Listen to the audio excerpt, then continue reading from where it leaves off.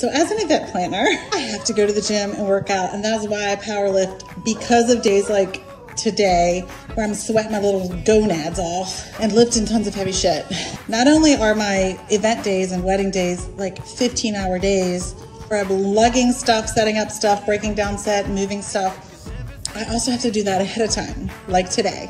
It is probably 100 degrees out, but my client's coming tomorrow and she wants to see a mock setup to make sure all the colors match which I wholeheartedly agree. I am a recovering perfectionist in life, but not in business, friends. 100% a perfectionist in business. So let me show you. This is why I have to be able to lift heavy stuff.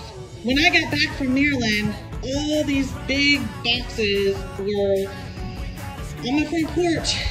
So I've had to lug them all out to my garage, open them all up, and now we're gonna set up. Now it's a mock setup, and I have rectangular tables and not round tables like the day of the wedding, but it's just to get a vision. So here we go. So my client wants a moody, bohemian, gem-colored, romantic evening fall wedding. So we picked navy, burgundy, and hunter green to just make it more eclectic and have it a little more interesting instead of everything and every table looking exactly alike. So now I can show my client that this is what we picked out and we can decide how to proceed. The chargers are the only thing that is not disposable. The plates, silverware, and cups will all be thrown away after use. So I bought lots of extra.